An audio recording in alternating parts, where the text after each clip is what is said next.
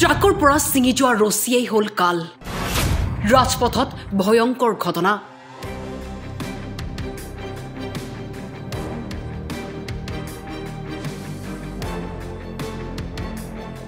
ন ছেকেণ্ডৰ শিহৰণকাৰী সেই দৃশ্যটো দেখুৱাম আপোনাকো কিন্তু সম্পাদিত ৰূপতহে।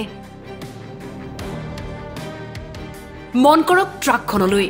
সামগ্ৰী ভৰ্তি ট্ৰাকখনৰ পৰা বাগৰি যায় দুটা বস্তা। লগে লগে ছিঙি আহে এডাল ৰছী। বিপৰীত ফালৰ পৰা গৈ আছিল বাইক আৰোহী আৰু ৰছীডাল ছিঙি আহি লাগি ধৰে বাইক আৰোহীৰ ডিঙিত। ডিঙিত ৰছী লাগি মটৰ চাইকেলৰ পৰা বাগৰি পৰে ৰাজপথত। ঘটনা তামিলনাডুৰ তুথুকুৰি জিলাৰ। দুৰ্ঘটনাত পতিত ব্যক্তিজনৰ নাম মুথু বুলি চিনাক্ত কৰা হৈছে। বৰ্তমান হাস্পাতালত চিকিৎসাধীন হৈ আছে ব্যক্তিজন। জানিবলৈ পোৱা মতে ট্ৰাকখনে সাৰৰ বোজা কঢ়িয়াই আনিছিল।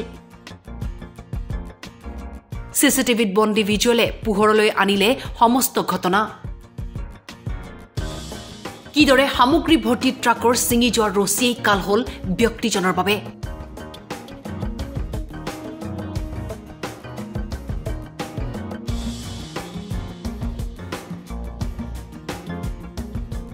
news desk time 8